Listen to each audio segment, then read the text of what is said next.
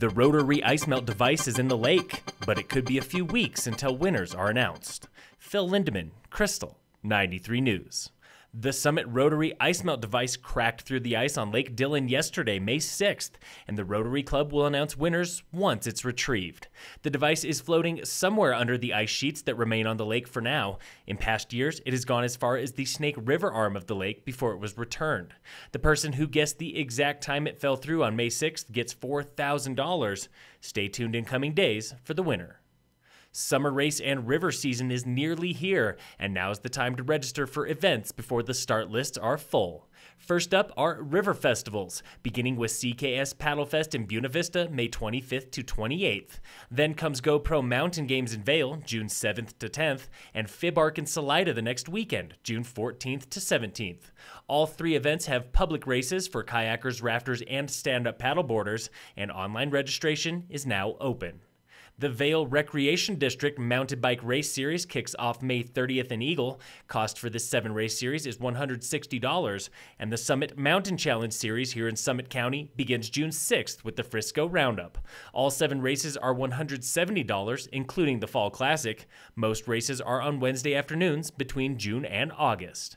For you runners, the Run the Rockies Road 10K and Half Marathon returns to Frisco on June 2nd, and registration is now open for the Bacon Burner 6K during the Colorado Barbecue Challenge on June 16th.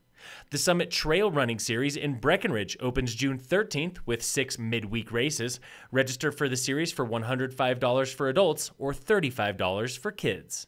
And of course, the Firecracker 50 bike race is back Tuesday, July 4th. Registration is open now at mavsports.com.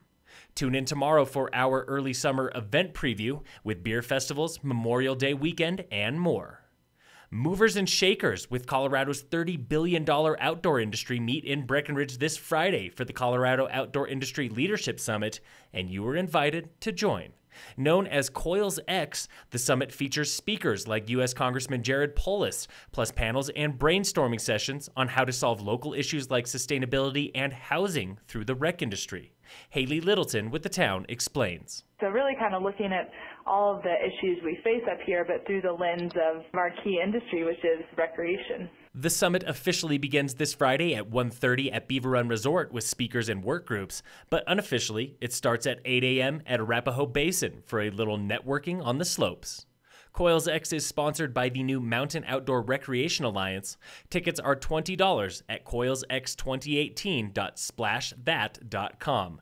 That's C O I L S 2018.splashthat.com.